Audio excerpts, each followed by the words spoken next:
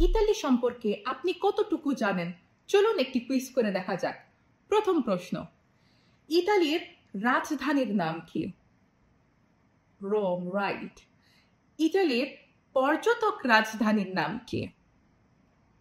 Milan right এখন আর একটু কঠিন করতে হবে। ইতালির সব থেকে বড় নদীর নাম কি? ইটালির সব থেকে বড় দিঘি অর্থাৎ লেক, তার নাম কি?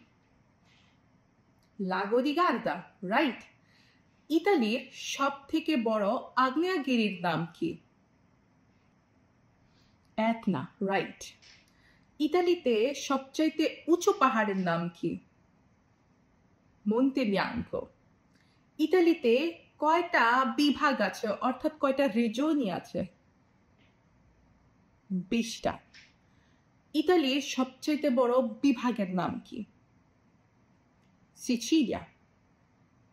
ইতালি কোন সালে রাজ্য হিসাবে জন্ম নিয়েছে? আঠারোশো একষট্টি সাল। এবং লাস্ট প্রশ্ন, ইতালি কোন সালে স্বৈরাচার ফ্যাসিজম থেকে মুক্তি অর্জন করেছে?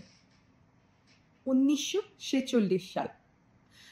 কয়টা পেরেছেন কমেন্ট করে জানাবেন এবং কতটুকু শিখতে পেরেছেন তাও জানাবেন। আর এমন ভিডিও আরও পেতে হলে আমাদের প্রত্যেকটি সোশ্যাল মিডিয়া পেজেস ফলো করবেন এবং ইতালিয়ান ভাষা শেখার জন্য আমাদের এই নাম্বারে যোগাযোগ করবেন। দেখা হবে পরবর্তী ভিডিওতে টাটা।